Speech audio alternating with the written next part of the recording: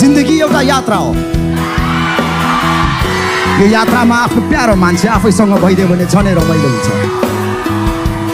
सायद कसैले ठिकै भनेको थियो कि एउटा सफल पुरुषको पछाडि महिलाको हात हुन्छ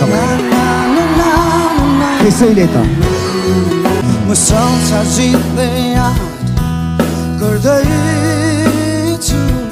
मात्र तिमी मेरो साथ बसिदेऊ।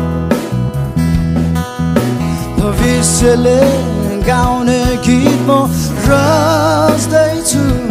मात्र तिमी सुरमा ताल मिलाइदेऊ।